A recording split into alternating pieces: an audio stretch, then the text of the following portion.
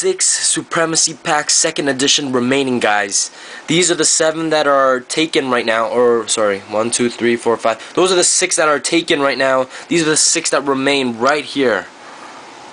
Packs number 11, 20, number 2, number 5, number 18, number 14. Are you guys friggin' kidding me? These are what's left, including the extremely crazy $250 card, Superfractor of Allen Iverson. A Dwyane Wade autograph, Chris Paul autograph, Chris Paul autograph, Chris Paul autograph. Um, inserted in the as redemptions in these uh, remaining packs.